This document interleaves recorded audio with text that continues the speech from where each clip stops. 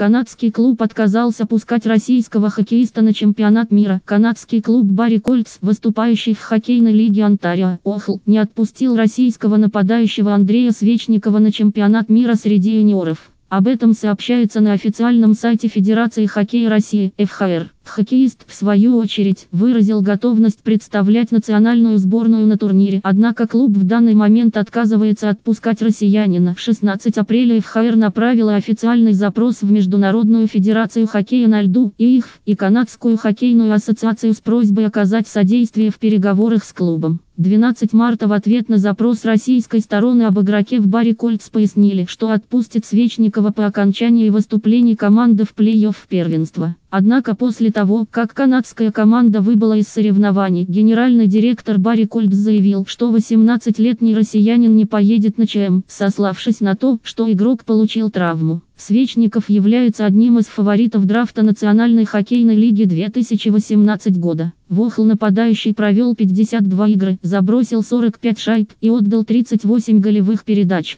Чемпионат мира среди юниоров пройдет в Магнитогорске и Челябинске с 19 по 29 апреля. Больше важных новостей в телеграм-канале Лента Дня. Подписывайся перейти в мою ленту новость размещена на сайте вседоски.ком. Это бесплатный сервис по массовому размещению объявлений на десятки досок объявлений. Как продать быстрее? Размести объявление сразу на все доски объявлений с помощью сервиса вседоски.ком.